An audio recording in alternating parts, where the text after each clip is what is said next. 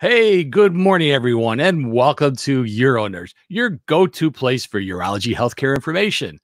Welcome to the show. We meet every Saturday at 9 a.m. Central Time, and you can watch us on any of those things. We go and broadcast to all of those. Um, welcome to the show. If this is your first time joining us, be sure to check out our website at uronurse.com, the best place to go to learn more about the show. Also, best place to see all of our past episodes, 108 of those now. So be sure to join us over there. Want to listen to us in your car? I know a lot of you do because I look at the statistics and it's real easy. Go to our UroNurse Plus area. You can get our audio podcast on any of your favorite podcasting formats. This week, we're going to be talking about cystoscopy and what's your office protocol. We did a, I sent a survey out to a lot of you and you've answered it, which I appreciate. We're going to go over some of those uh, answers. Let's go ahead and bring in our experts right now. Experts, welcome to the show. Hey, it worked, except for mine. there we go. You'll be the host. Who cares? Yeah, it doesn't really matter. Welcome to the show, John. You snuck in here just at the last minute. I got you on. So sure did. Um, so hey, welcome everybody. Labor Day weekend. I can't believe how fast the summer went by. Uh, I'm going to kick it off with my introduction. Vic Senese. I'm the host and producer of the show. Been involved in urology for longer than I care to talk about, but it it does pay off because I have some extra knowledge sometimes. At least I have legacy knowledge. Uh, go ahead, Lori. Go, give your introduction. Good morning, everyone. My name is Lori Atkinson. Happy Labor Day weekend. I know we all probably need it and deserve it. So happy Labor Labor Day weekend. Um, I'm a certified urology registered nurse. I've been in urology since 1998. That is a long time.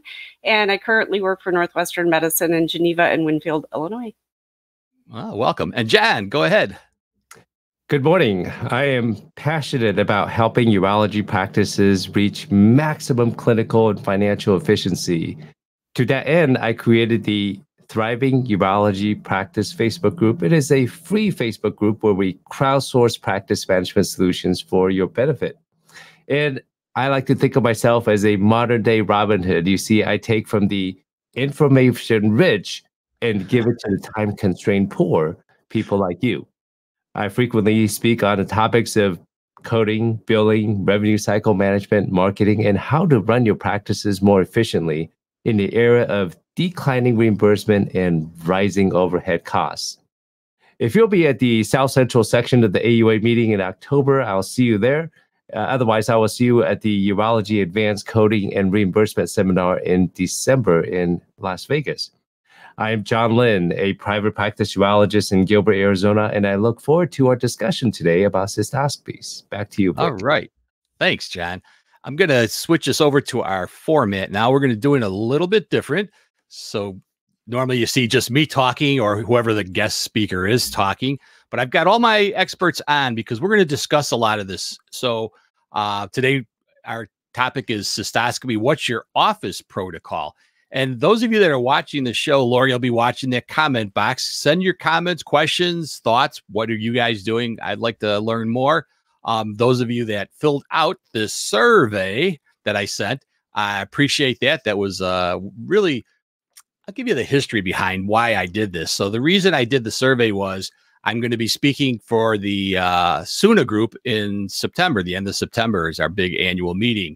Come join us out in Orlando. It's going to be at the SeaWorld. Uh, first time I think it's I've seen a, a an actual conference at the SeaWorld. So anyway, I'm going to be speaking not once but twice. I'm trying to catch up to John a little bit. He's always got a lot of speaking engagements. And one of them they asked me to talk about was setting up for vasectomy and for cystoscopy. Um, obviously aimed at people that are new to urology. And I started thinking, you know, I know how we do it. I know what some of the research has shown because I've been part of the AUA SUNA white paper group that did the white papers on prostate biopsy, reprocessing, and on cystoscopy.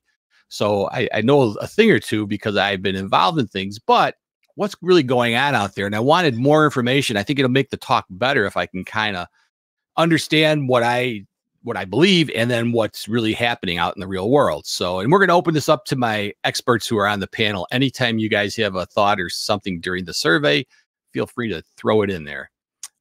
I started off with a very simple survey just asking what type of cystoscopy you're doing in your office. Um, again, this I, you can have the choice in some of these questions to answer both. That's why you'll see 150% for the answers but I think it's not probably a big surprise to anybody that flexible cystoscopy is probably the, the leading thing that we see done and some rigid in the office. Um, anybody in the experts got an opinion on that? Seem pretty reasonable. Nothing surprising. No. No, I think uh, rigid cystoscopy. Sometimes people use it for their Botox injections. Some people use. Well, I when I perform urolifts in the office, I, I obviously use a, a rigid scope. Yeah. So, so we're still seeing some of it. I was around when the first flexible scope was introduced, and I can't even think of how many years ago it was. But we had a urologist who who loved to always be on the cutting edge, and he got the scope, but he hardly used it. He it was all the young guys that came up after that really utilized it. Of course, now it's probably the standard of care in the office. Thank thankfully. All right, so then I asked who's performing cystoscopy in the office. No surprise, mostly uh, MDs. Um, sorry about your DOs. I didn't specify. So physician done, but also a number of PAs and nurse practitioners. And this is fairly new um, that the NPs or the advanced practice nurses are and PAs are getting involved in cystoscopy. Um, any thoughts on that? Lori, have you seen any of that in your office? I do so. So yeah, our providers do mainly the the diagnostic cystos. Um, our PAs, we have some PAs that actually do the cysto stent removals. They'll do a lot of those. And John, from a urologist standpoint, what do you think about that? Well, I think a lot of the uh, urologists are worried about encroachment by the uh, PAs and NPs in doing the things that we usually do. But I think stent removals pretty straightforward. Make, as long as you could get into the bladder, you find the foreign body, you use a grasper to remove it. Not a big deal. But uh, diagnostic cystoscopies, it does take a little bit of more training and experience in knowing what you're looking at. So yeah. I, that um, I think in that case, the use is I think is right on. Uh, but I know practices that are allowing the APPs to perform diagnostic cystoscopies, pretty much the whole suite of cystoscopies. And I think as long as you know they're properly trained and somebody is you know there to kind of double check their work as they're learning, it's it's something that obviously there's no magic wand that they you know utilize in, in medical school to make you guys better than the they do anywhere else. So, and nowadays and, you can record the video if you yeah. want to double check on the work of the APPs. Yeah. In the old days, we had this in order to to share a scope, it had this this other lens that attached to it. So you could look. I used to do that with one of our urologists. The problem is it really cut the the volume of light coming through it quite a bit. So it really wasn't a, as good. Now with video, I mean, it's perfect. So, all right, let's get on to our next question. Thanks, Fran, for your information there. So, who sets up the equipment in your office? Um, so probably no big surprise except that I can't spell the word assistant. Um, but that most of these are being set up by the medical assistants, uh, nurses. My big surprise was there's actually an MD who's setting up his own equipment. Kudos to that doc who's doing their own. The other group I probably should have allowed to find out who those are, but my my guess, and maybe you guys can put it in the comments if you have a actual information is is these are people that are just trained that are non-nurses non-medical assistants haven't gone through any formal education in the medical field but they worked you know for a doctor's office and were trained. Anybody's thoughts on that yeah ours is mainly our medical assistants you know the nurses will help out when needed but then we do have clinical assists um, like you said who who they're not certified medical assistants, but we've trained them to do that. Yeah. So we have some of those as well. Good. And, and I got to say, there's, go ahead. There's no no judgment here. I'm not trying to say what's right or wrong. I'm just trying to find out what's being done. And I really made the survey. One thing I said is it's anonymous. There's no, I don't track any emails. I don't know who sent the information. And I really think I got some true, honest answers, which is helpful. Go ahead, John. Oh, I like to remind people that the physician is the and then APPs are the most expensive employees in the practice. So when we say that you should be operating at the top of your license, I always think, can somebody else do the tasks that I'm doing? And if the answer is yes, then I should not be doing it. I should be doing things that are more productive in the practice. I agree, and and that's and that's why I really think that's the perfect uh, example where medical assistants are the right person to be doing that. You know, if you're putting your registered nurse taking their time at their hourly salary to to reprocess equipment, that's probably wasted money. All right, good. And we've got some comments on that, Vic. Oh, good. Go ahead. Let's bring that back. I'll so bring that slide Raji, back up. Raji says they do. They have a surgical assistant. Okay, so that would be probably in that other class. Great. Um, use, use mainly LVNs. We do have scrub tech for cysto cleaning purposes. That's from good Nisha. news. Good, good, good information. Thanks, Nisha. Oh, she meant text. I, I kind of thought that she meant the text. Good. All right. Well, thanks. That was some interesting information. And, and I think in this the, uh, the subtext is, in performing cystoscopies is that depending on where you practice, your ability to do certain things may be limited, and also depending on the state in which you practice. In, it's going to vary. You're right. Yeah, eh, California, I think, may be a little bit more restrictive on who can do what. Yeah, absolutely. Uh, it's been a long time since I did the research, but when we started adding medical assistants, I researched for you know practice acts. The only state I could find a practice act for medical assistants is California. Yeah, it's interesting you say that because at the SUNA conference, I'm actually um, going to be speaking. We're doing a position paper on MA uh, for I'm on an MA task task force, and we're mm-hmm. actually talking about the fact that a lot of medical assistants, even though they're allowed to do these things, there's nothing to back it up. Um, there's no, you know, protocols or or or training devices, things like that. So we're working on that. So if you go to the SUNA con- uh, conference, yeah. you'll learn more. That's right. All right. So the other one I asked was um, the setup that you use in your office. And that, this one I was hunting for some conversation. Uh, sterile field, sterile gloves, total sterile setup versus non-sterile setup like a chuck pad and non-sterile gloves, procedural gloves. And we can see from the statistics that the bulk are using a sterile field, sterile gloves, but there's a small percentage, well, not maybe all that small, almost 10% that are using um, you know something besides a sterile field. Now, being on the white paper for this discussion with um, you know physicians, urologists, and nurses together, kind of arguing this thing out, I have to say there is one point that was made during the the talk um, when I was doing the ultrasound white paper is this part of the instrument really is not necessarily have to be sterile because they said where do you where do you draw the line at sterile you know, how far do you have to be gowned up and everything to do a cystoscopy or prostate biopsy? Because the part that goes in the patient is the, you know, the the catheter side of it, not the the handle uh, per se. And I'll bring up my experts to kind of get your feeling on that one. What what do you think about the the setup? Does it have to be completely sterile, or just keeping the tip sterile, or the catheter side of it sterile? Lori? No, so I mean, if you think about it, most uh, most places um, clean their scopes with a high level disinfection. It's not sterile.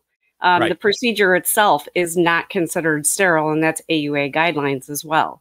So we um, we do a high level disinfection, but as far as our procedure is concerned, we do do not do it sterilely. So we have the chucks and the and the regular gloves. Good, good. And and, and again, I can see the argument. John, what's your thoughts? Yeah, I'm with Lori on this one. You do not need to ma- make it a sterile type procedure. And very importantly, we worry about infection risk. And I will tell you, the infection risk is extremely low, even when you don't use a sterile type of set- setup. So yeah. I think a lot of practices are wasting a lot of money and resources when they are setting up this entire sterile field.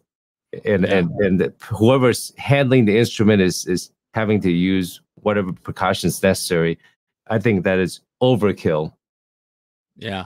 I, I and I agree. And that's what we came to as a conclusion in our guidelines for prostate that you know there's there's a certain point of it, you know, you don't need to have a sterile glove on to use the ultrasound probe. that part that's you're holding is not going into a patient. So, you know, it's it's all all kind of using good common sense, which we know doesn't exist too much anymore. But wait, wait, wait. Uh, let's let's think about the transrectal ultrasound. Go to go on a tangent a little bit. Okay. Into which orifice are you inserting that ultrasound probe? Hmm. that that nice that non-contaminated rectum, right? Whatever. It's yeah. Good, good, good point. I, I kind in the comments if you guys want to also make a comment about how you like this format. I really thought of this as just I think it's fun to kind of be able to go back and forth with people and get opinions. But anyway, going on. So now I did ask a question about what size sterile bag do you use for cystoscopy? And there's really three out there that you can use: the 100 cc, 1000 cc, and a 3000 cc. And those are the ones that, excuse me, for sterile water that we order.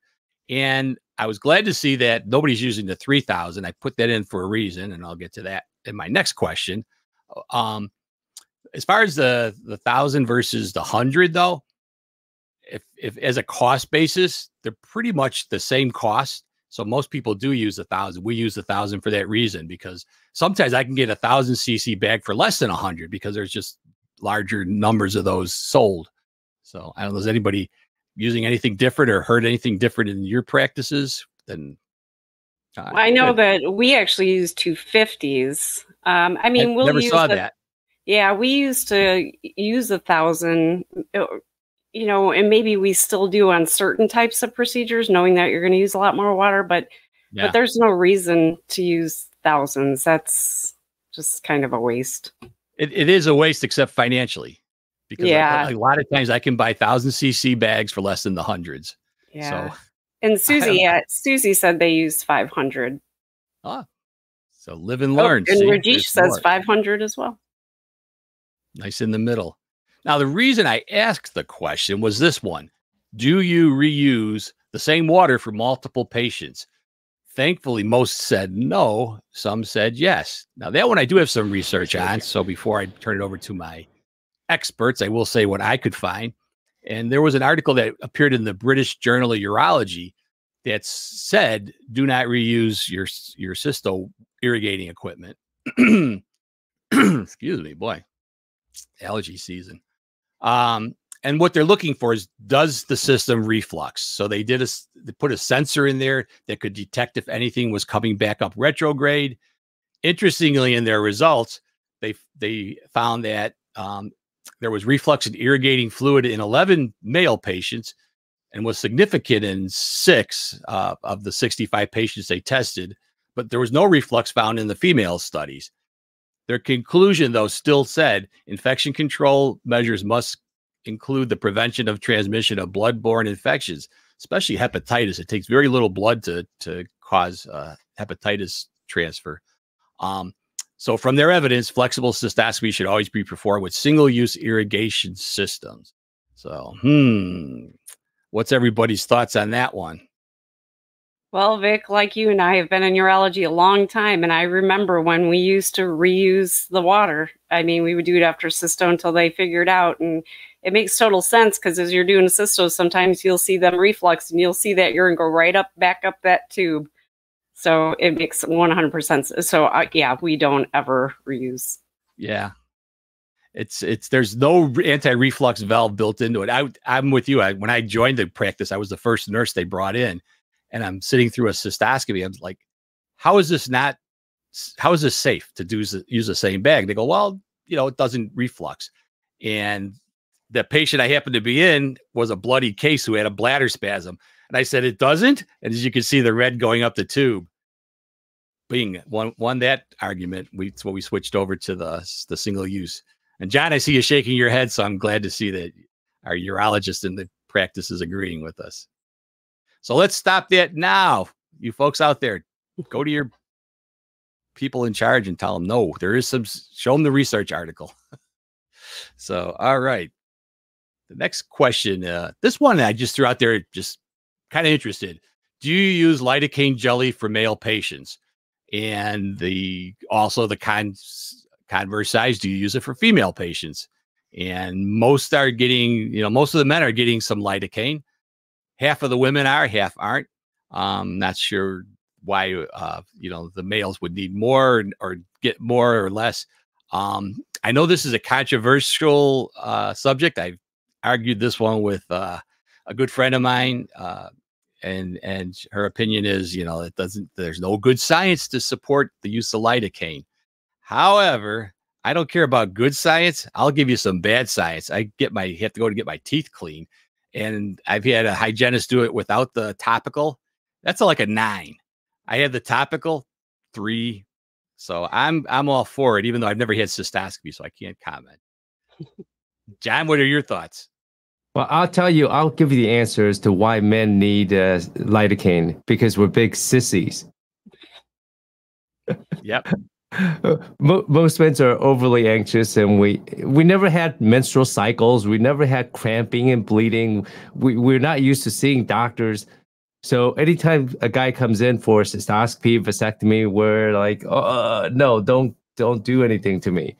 Yeah, and that's why I think the placebo effect of viscous lidocaine is extremely strong. That said, yeah. I think if the urologist or whoever whomever is performing the cystoscopy is good enough, viscous lidocaine is not necessary, irrespective I, I, of gender. I think that's I think that's a good valid point. Uh, a placebo effect don't don't underestimate it. It makes a huge difference, especially if you can sell it. Oh, don't worry, we're going to give you a local. Oh, okay. You know, as long as, you, as long as they know they're getting it, then they're a lot better off. Lori, what are your thoughts? Well, I wanted to bring up um, a comment before I say what I'm going to say. So, Susie said 10 years ago we never used Lido gel on females, but we do 100% of the time now. Um, so, we used to use uh, Lido, uh, Glydo, whatever you want use on um, yeah. males and females. We don't do it on females. We do do it on me, uh, males, not only for the placebo effect, but I think because of the lubrication. So I think that it's just, yeah. I think that the scope would go in easier. Now let's be realistic. The lidocaine probably doesn't get up to the part where men are going to go, ow. I mean, you're not going to get away from that. Um, so, but yeah, it's definitely more of a placebo effect. And with females, they, you know, as long as you don't tell them that, you know, you have the option or, um, you know, it's just a little pinch for them. Why put it in and then give them another little pinch? There's no point. So, yeah. And if you're going to use lidocaine, the only thing that's going to make it work is if you wait. The mm-hmm. dwell yes. time is what's important. So if you're going to use it, like for instance, the the physician or APP inserts a viscous lidocaine and immediately goes to cystoscopy, that's a total waste. yeah.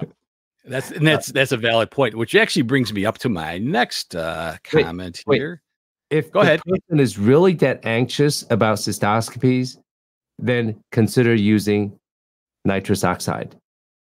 Yep, Pro-Nox. it mellows them all out. Or Nitronox Plus. Yeah. Uh, so then I asked the question if you use lidocaine jelly, who's administering it? and not uh, by any su- big surprise, it was, and again, it could be more than one answer, could be correct. Um, so nurses are by far the ones administering it, followed by medical assistants, physicians, um, and NA, NPs and PAs also, plus the other who we don't, we're thinking are probably techs. Um, probably not a big surprise that uh, you know NB, NDs, PAs, and NPs are doing it. But I think, as John had said in his comment, that it's probably given and then they go ahead and scope. I don't think they're waiting. The advantage of having somebody else give it is normally like in our practice, we go in, we give the lido, oh, we put a clamp on and walk out and let the patient dwell. And then the physician, by the time they get in there, that, that stuff has done its job makes and it does make a difference. You can tell if somebody's had it in there for a while versus someone who just gives and goes. And to anyone who actually is listening and doing cystoscopies, the key is to when you for the males at least, when you get to the external sphincter, just wait. Wait a few seconds there, talk to the patient, get him to relax a little bit. I tell the patients to relax your buttock area, relax your back, relax your legs, and then the external sphincter will open up he'll relax, and then the scope just goes right in. That's the yeah. key area, I think. Yeah, I, I had a uh, couple. Go, oh, go ahead. Sorry. So Nisha said they're using lidocaine for both. And then Tavo says, I believe lidocaine helps based on patient responses. I insert it in our patients and we wait at least 10 minutes. Ah, good, good practice. Hey, and thanks for you guys chirping in there. I know we have a pretty good crowd here watching the show, so I appreciate all these comments coming in. Uh, a, a, word back to what John had said. So I got called in. Uh, one of my responsibilities when I was rounding in the hospital was to put catheters in when they couldn't get a catheter in somebody. So I went in to put a catheter in a, a patient, and the guy said, "You know, listen, three people have tried this. I've had enough of it." And as John said, one of the problems with anxiety is they tighten up and they can tighten that sphincter up. And what people were doing is they're trying to push against this guy who was fighting them. So I kind of learned how I could rest my uh, on the hand that wasn't sterile, kind of against the inner thigh where you can feel that muscle in their leg. Yeah. And I would tell them, now relax, relax. And even though you're telling them, they don't always relax. As soon as I felt that muscle relax, I pushed the catheter and it went right in. So I told him, I said, I'd get this in in one shot or I'd call it quits. And of course, then he, every time he saw me, he said, Hey, one shot. so it's, it's it, true. It's as you yeah, said. Same thing when you're trying to put in a catheter, if you're trying to perform a cystoscopy, or if you're trying to perform a vasectomy. Now, in the last three years, I performed about 3,300 vasectomies. I have a little bit counting? of experience. What was that? But who's counting? yeah. It's with and, and also with no advertising. Uh, with so I have a little bit of experience in doing this procedure, and what you said, Vic, is exactly true. I, you know, one of my hands or both of my arms are, are resting gently on the patient, and yeah. you can feel when the calves are tightened. And I don't tell the patients to relax. I tell the patients, you, you feel how tense you are down in the pelvic area, down in your legs. I want you to do the, opposite of that. A lot of people don't don't quite get relaxed. Okay, relax, yeah. relax. Do the opposite of what you're doing right now. See how tense you are. Feel how tense you are. That there's a little trick for you. Yeah, yeah. See, look where you're going to get tips like this, right, from the experts. So yeah, no, it's true and and and John, you you don't have to advertise when you got word of mouth. That's all you need, right? Good results are going to bring in plenty of customers. So I think good product is key. A, a, lot of people say, "How do I do more of this, more of that?" Yes. I tell that you have to start with a good product and the Absolutely. mindset of continuing process improvement, or Japanese phrase called kaizen, is imperative in no matter, yeah. irrespective of what you do in the office you have to think about how do I do this better the next time? And that's how I'm able to do vasectomies in under five minutes consistently. Yeah. Yeah. That, that would make a big difference for who I picked. That's for sure. All and, right. It's, it's, interesting. Sometimes the patient will say, Why am I paying you so much money to do a vasectomy? I tell him that you're not paying me this money to do the five minute procedure. You're paying me all this money for the 30 years of schooling and experience to get to where I am. That's right. Exactly. Uh, people don't always like to think about that. It's the me, me, me generation. All right. Now, getting to the meat of what we're looking at, because this is a lot of what I'm going to talk about, is who reprocesses cystoscopy equipment after your use in the office. And again, that probably not a big surprise. Medical assistants and others are the primary person doing it. As we kind of spoke to it, that's probably sh- who should be doing it.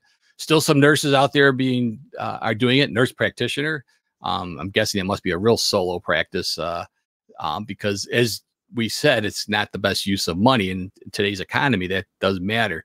Uh, not a big surprise.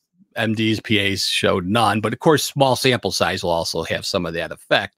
Um, but I wanted to see who's doing it because my next question was who trains the employees on reprocessing equipment?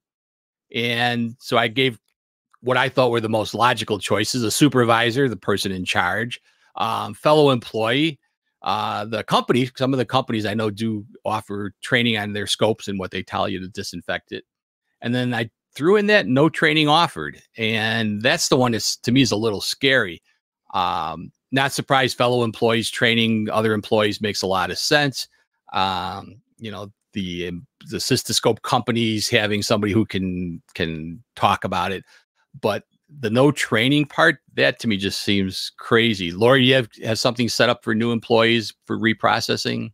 Yeah, so I'm actually a supervisor, so I can tell you that I can show somebody, but but in my opinion, the best person to show is somebody who's been doing it a lot. And so, because I'll go in there and, you know, I haven't done them in weeks because I've got other people doing them, it mm-hmm. just makes sense. Um, but I do, however, make sure they're doing it correctly. And we do have, and you know, a protocol and information and, and make sure everybody's doing it the right way. Yeah. And John, do you have a protocol in your office for who trains? No, we just grab whoever's off the street and we say go. Oh, so you're that ten percent.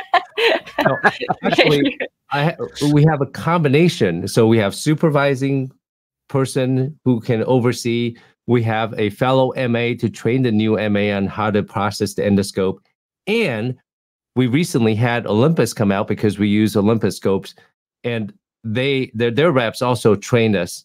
In addition, we have a guide posted where we perform reprocessing, and it's, yep. it's a flexible endoscope cleaning and disinfection guide. So we we don't rely on memory, we don't rely on dogma. We follow the protocol. Yeah. And and we we all know that all of us here on the panel know, and certainly probably most of the audience, the danger of not reprocessing these things properly if they're not reprocessed properly, patients can be, become infected, and that's not a good thing.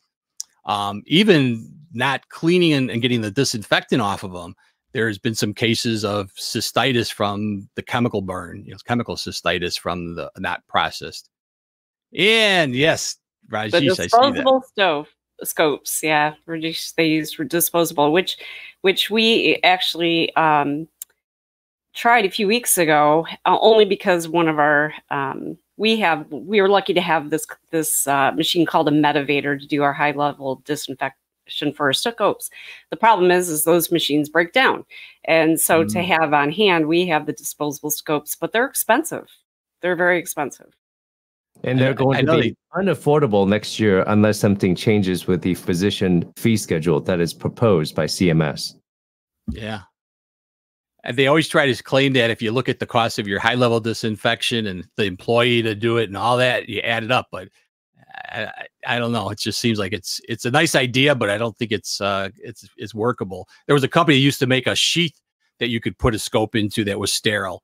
And the cost of the sheath though was so expensive that it just persists though, as you say, with reimbursement dropping, doesn't add up. Um, I did want to talk briefly about reprocessing medical equipment. So I'm going to bring up full slides here for a second. Um, you know, this is nothing new. 40 years ago, Earl Spaulding came up with this classification scheme broken into three categories. Critical items, which are the things like surgical equipment, they're considered number one. They should be, you know, recommended sterilization unless they're heat sensitive.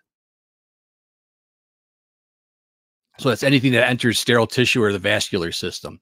Semi-critical items, which is what cystoscopy falls into, come in contact with mucous membranes or non-intact skin.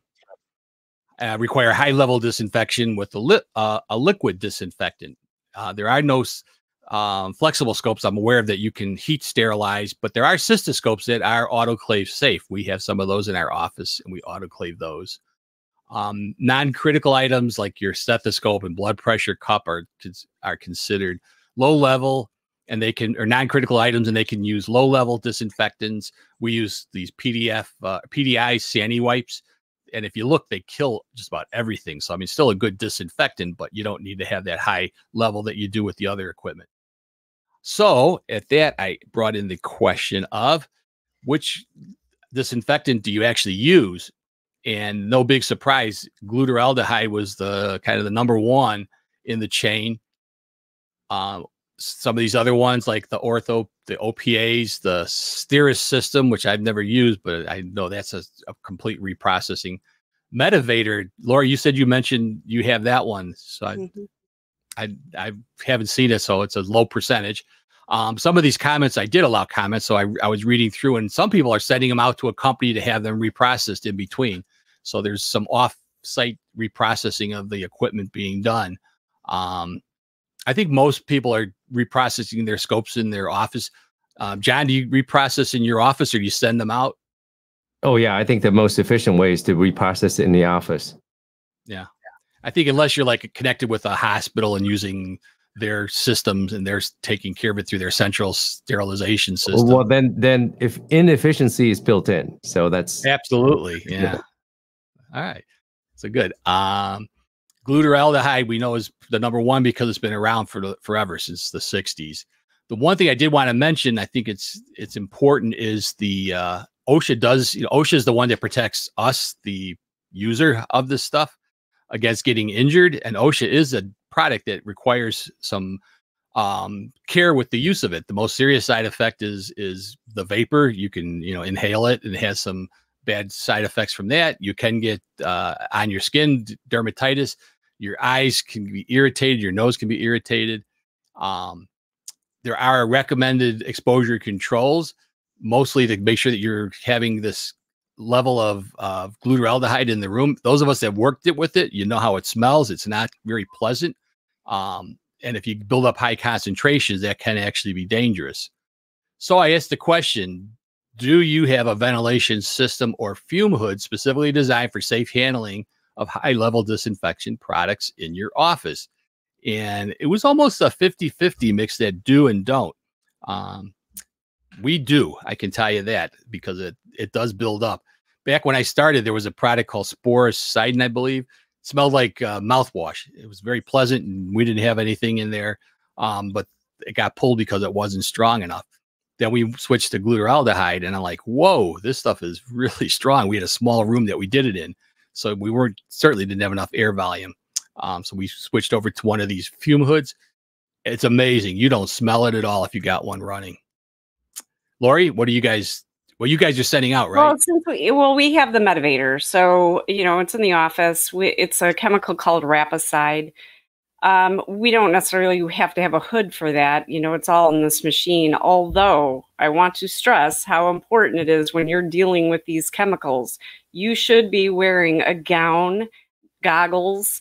You should be wearing gloves that you know cover uh, because these things are potent. And don't take them. Yeah. Um, don't take it. You know don't take them for granted because we have had you know some accidents with these and it's not it's no joke yeah that's where training comes in mm-hmm. and john what do you guys use in your office we have a dedicated fan in each one of the uh, rooms so the fan is constantly running whenever whenever Air the exchange. day starts the fan is running yep so the, again I, the room we had was a small room with no ventilation yeah so, I, so it's sucking out the air you need to have something. And I'm going to probably just bring up my next slide here. There are systems that you can purchase for your office that can detect how much glutaraldehyde exposure you're having. And you it's not very expensive. Somebody can wear a monitor, send it in, and make sure that your air exchange is, is there. Do you have to have a hood? No. It, the hoods work. I'm just telling you that they're they're very effective. I've done it with the the hood and it's like doesn't even show up anything. Um, but uh, keep your levels within the normal. As uh, as Lori had mentioned, gloves, safety eyewear, gowns, lab coats, those things should be worn because you don't want to get this stuff accidentally on your yourself. You know, the worst thing you can do is spill it on your scrubs and you got nothing else to put on, right? Um, poor practice can lead to exposure. And the next question I asked was, do you have a spill kit if you're using glutaraldehyde to design for high level disinfection products in case you spill. Now, I was really surprised by this one in that most do have the spill kit because uh, we, you know, it's it doesn't happen very often, but boy, if it ever happens, eh, you have a spill in your office, that stuff, you have a lot of surface area to kind of get out and spread the fumes. This the spill kit, you just throw this, it neutralizes it, and it just disappears. Plus, he has all the equipment you need to kind of soak it up. Um, again, Lori, I don't know if the Medivator, if there's some kind of spill kit for that or not. No, but one thing I can comment on that is make sure you have your MSDS, the safety sheets available. Because when that happens, uh, you need to have that nearby to know exactly what to do. Yeah. John, you, you have a spill kit or you're running out to get one? no, we we process everything in the in the same room. So the any sort of minor spill is easily contained. Yeah. No, and this I think is looking at a catastrophic. Somebody drops a tray of Cidex, for instance. That would be where you need a spill kit. The couple of drops is you're dumping it. Probably uh, doesn't need a, doesn't require a spill kit. So. Oh, this is but, interesting. So, Fran, I, I want her to um, elaborate on this. A while back, we needed to wear a monitoring badge. I, will bet you that's the one I was pointing out, that glutaraldehyde badge. Oh. Because yeah, I mean it's it's like I said, it's fairly inexpensive. And I think it's it's nice to have that documentation because if somebody says, "Hey, you know, I developed this because of my exposure," you say, "Well, wait a second, you know, we have safe, we're within safe levels." So sometimes you're just, you know, covering your your butt. And keep in um, mind, so, speaking of covering, whatever the scope is soaking, there's a lid over the tray, so you should yes. always have that on. Yes, that's a that's a good point because I have seen where people don't cover it and it's open and that stuff yeah. you're, you're spilling it into the air. So definitely should be covered to minimize the amount. And I think it's it's simple enough if you do these things to keep it within good levels. Um, and I said about large spills should be contained. And there's a product out there, and I was curious if people use it called Glued Out. And mostly it's used for when you're getting rid of your old glutaraldehyde and it just uh, when you're pouring it there's a little higher level that you could get. The glued out will take it and make it neutral so you don't even smell it. Um, most people don't use it. Some do so i think it was kind of a three quarters uh, were not using it. I don't know of any requirement that you have to do this by the way and there's no nothing i could ever find that said you can't dump it down a municipal sewer line so i don't know any thoughts that you guys have on disposal? I have a, a, a, thought, I, you know, a comment on that is that make sure that when you're dumping these chemicals, that you're watching what other chemicals you dump down that same sink because there can yeah. be reactions that Reaction. occur. Yeah. Interesting. Yeah. All right. So that's what glued out looks like in case you haven't uh, seen it before. It just you just dump it in there. It turns it to something that doesn't even smell. And you want to, of course, be careful when you're dumping it that you're not splashing it and you're minimizing any uh, contact with it. Um, our particular system, that hood has a pump built into it. You just stick the tubing into it and it sucks out the stuff and puts it right down the drain.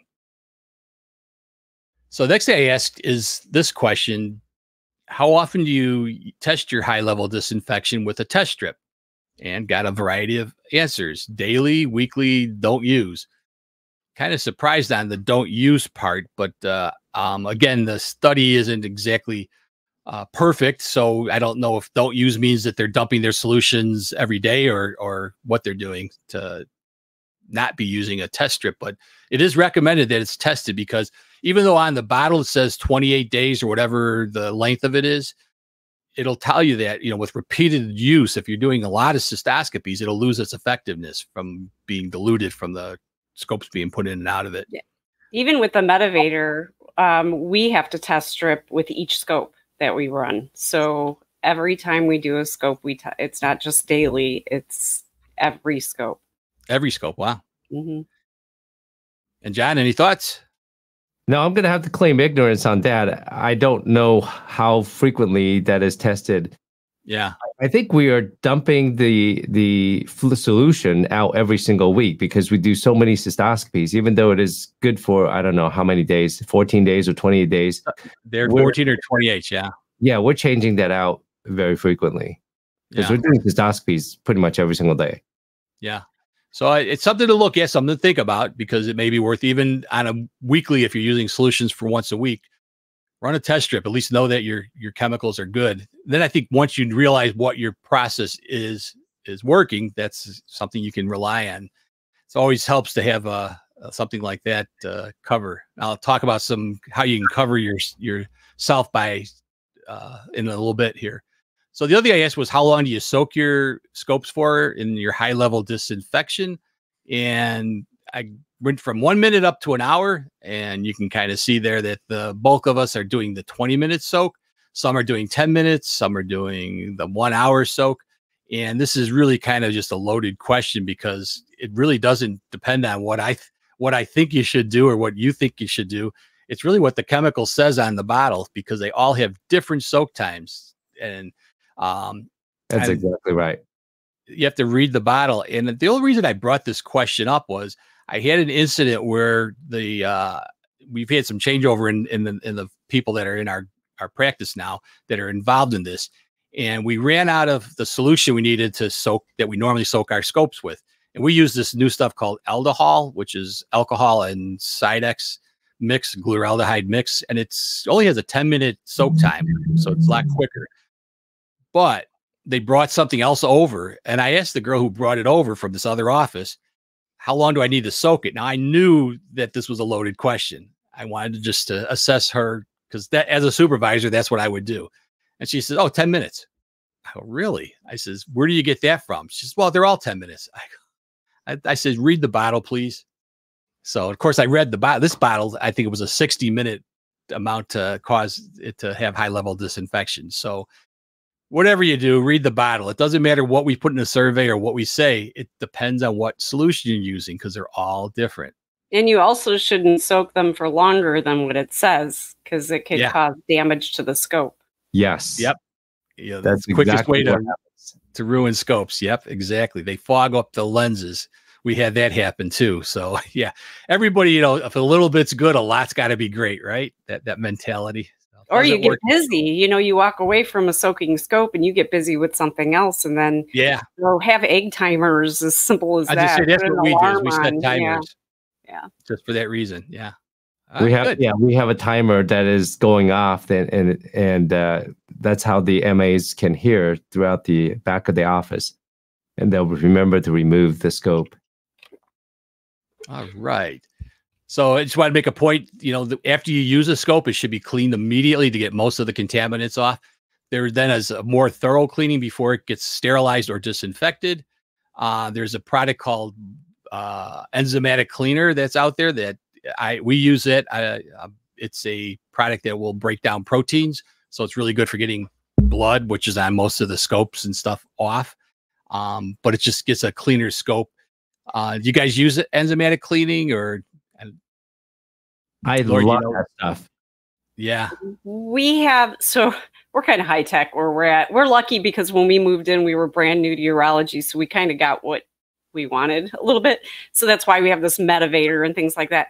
But we actually have something, uh, it's called a scope buddy and it's it's intercept that actually pre-cleans you connect they've got connectors to the scope wow. and it, it cleans and you, you know it goes through a cycle and runs things for 60 seconds through that through that before we even put it in the Medivator so we're lucky we have a pretty um, hey Lori, I, you have to connect me with the rep for that company. I'd I'd really like to have oh absolutely come on and do a yeah. show for me because I'm interested absolutely, in I would. some of these more you know automated system i'll tell you another quick story about the enzyme solution so of course being the fact that i was on a white paper in urology my name was on it i got called as a consultant for a company that was doing uh, uh, procedures and they had a high infection rate and they said you know would you mind coming in just ch- checking over what we're doing we don't understand why we're having patients you know higher than the norm developing infections so I looked at their whole process, saw who, who was doing the procedure, how they were doing it, and they were using the enzyme as a sterilizing solution. They thought it was something that would kill off bacteria. And I said, enzyme does nothing for bacteria. All it does is get dirt off your your instrument. So um, sometimes it's uh, it's scary what you can find out there. But uh, yeah, good stuff to clean. Um, hey Vic, so we've yeah. got some questions. I think this is great that that that Tabo and Susie kind of brought this up.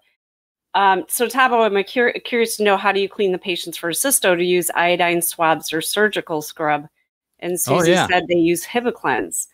Now I can tell you, Susie, that uh, recently we would use Hibiclens as well, but Hibiclens is actually not recommended in vaginal mucosa. So we actually switched to betadine again. Um, and so, so what, because that was something that we used all the time until I don't mm-hmm. know how it got brought up, but we found out that it's actually not good for mucosa. Good point. And I didn't, I didn't ask a question on the uh, that part of the prep, but that's uh, another area to think about. All right, so because we're running short on time, I want to make sure I finish up a few things here. So autoclaves, we mentioned sterilizing. I just wanted to make sure that you're aware that sterilizers, if you have an autoclave in your office, make sure you know how to use it. It needs time, it needs pressure, and it needs uh, temperature. It has to reach all those things in order to cause sterilization. So you should have a way to monitor that. You also have to be careful because super pressurized heated steam is is super hot. And that stuff is, you know, you can get a serious burn if you try to take something out of a open uh freshly opened autoclave too soon. And there are monitors. I have the Cidex strip there for some reason, but just to kind of show there are monitors for whether your sterilizer is working properly either. So even the fact that you're sterilizing something doesn't necessarily mean that it's sterile if you're not getting pressure, time, and temperature.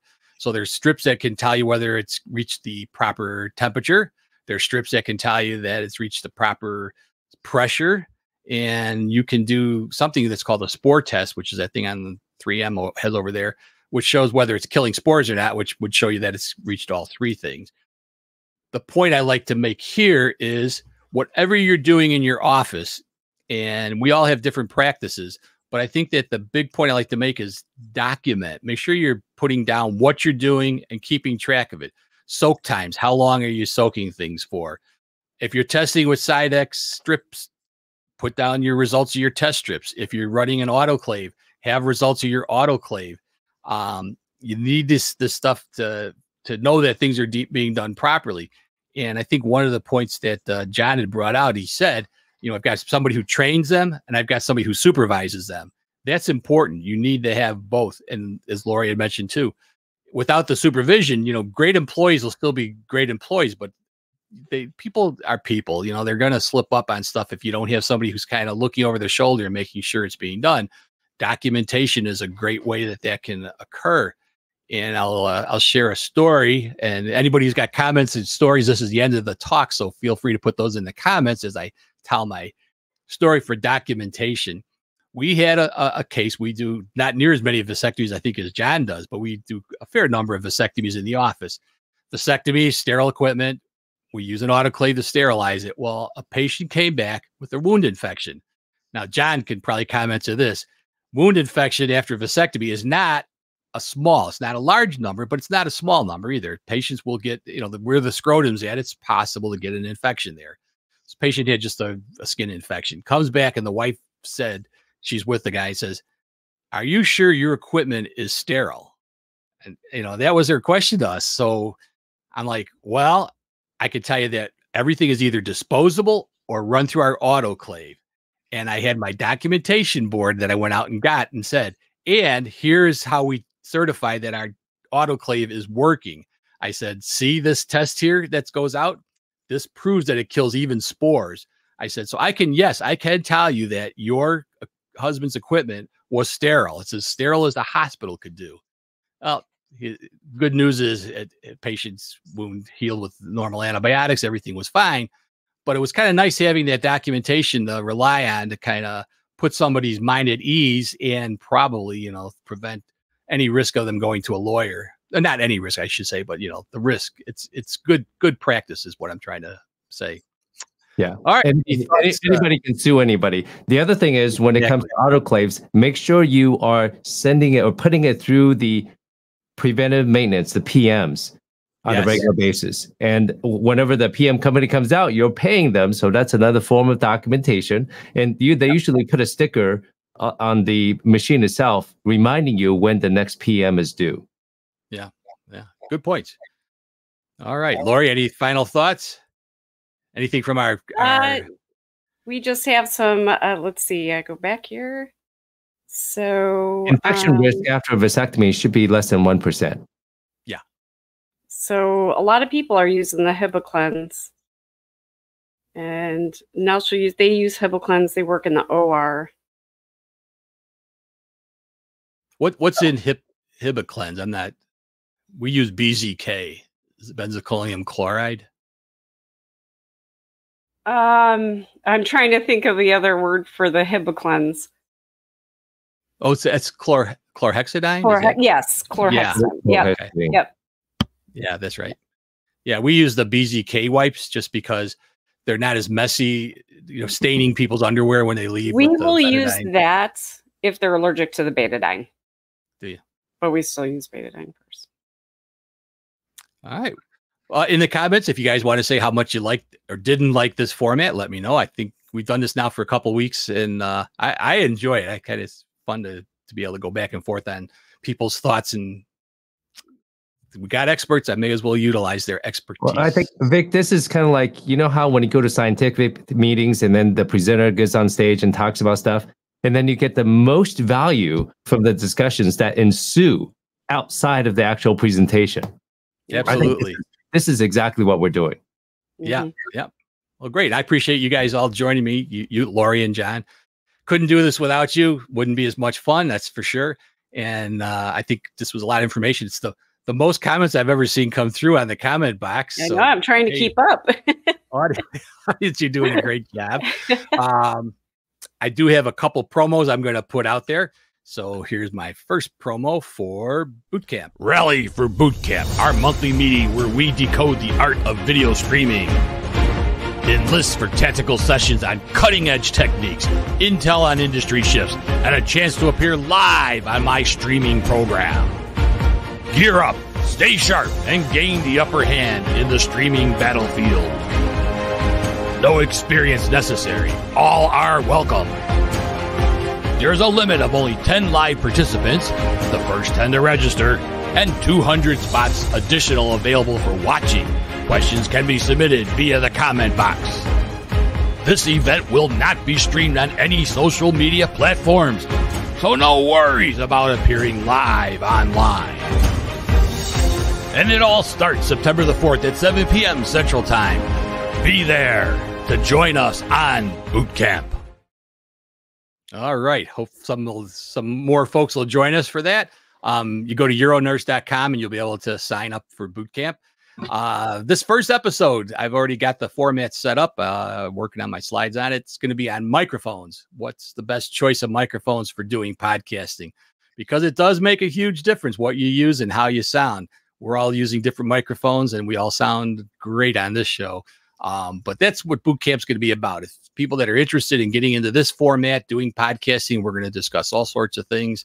You don't have to be in healthcare, you could just be interested. So we'll see who all signs up for it. I started the advertisement and I've already got a few people signed up. So be sure to join us. Um, I did look at the con- comments as I was going through the the play and you guys seem to really like that format so i think we'll be doing more of this in the future because this uh, like i said for me this is a blast and as john said it's just like you know when you go to a talk you learn more from the conversation around the talk sometimes than you do the talk itself. Now we're getting it today's the last day of august which means we're going into september. So i decided i'm going to do something on uronurse just for that. September is Prostate Cancer Awareness Month, a crucial time to focus on raising awareness about the importance of early detection and treatment. This month, UroNurse is dedicating its entire educational program to prostate cancer, offering valuable resources, information sessions, and expert talks to help healthcare providers stay informed. Join us next Saturday to kick off prostate cancer awareness. All right. So I'm going to kick it off next week with a show devoted. The whole month's going to be devoted to prostate cancer. So I want to go ahead and get you guys out there to start thinking about what you're doing for Prostate Cancer Awareness Month. Put those in the comments. You can use the Ask Uro Nurse to send me information about what you're doing, and we're going to start kicking it off with what things go on and what kind of awareness there is out there. So September is going to be Prostate Cancer Awareness for Uro Nurse. All right. Hope you guys have a great holiday weekend. Enjoy your days, your extra day off. No work Monday, right? All right. Well, when you run Thanks, your own Lori. practice, when you run your own practice, there's no really off day. We'll all feel bad for you on Monday, John. yeah, I'm enjoying my weekend. So have a chicken. Me, most me. days are a holiday, so I don't really mind either. I don't notice the difference. I'll be off, but uh, I love it. I I got the whole week off next week, so that's that's a, a, bonus for me. All right, well, thanks everybody for joining us. Join us next week. We're going to kick off that prostate cancer awareness month here on Uronurse. See you all everybody next week. Bye, Bye everyone.